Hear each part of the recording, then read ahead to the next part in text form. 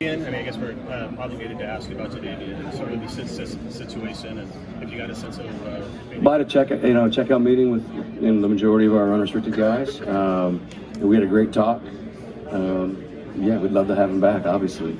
What's the priority? You mentioned the pass rush, though. So you go through the priority of how. yeah, sure.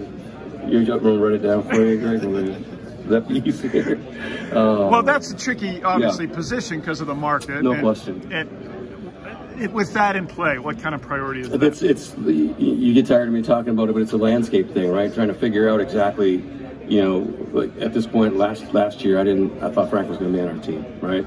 So it's it's really like a a, a daily or weekly uh, process of figuring out how you're going to put this thing together.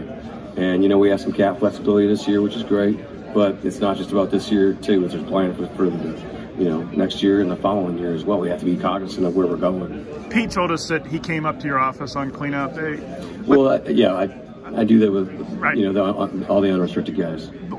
What did it mean to you for him to say, I want to be here? And, and does that carry any weight? It was great. I mean, I think he came in. He loved the culture. Coach, he loves the coaching staff. You know, loves the loves the chefs, loves our equipment guys, and I mean, it's he's he's a, he's a really fun guy. And he was he was he was a blast to be around, and I hope we can continue that. You know, John, you and Pete talk about super disruptive. you, you and Pete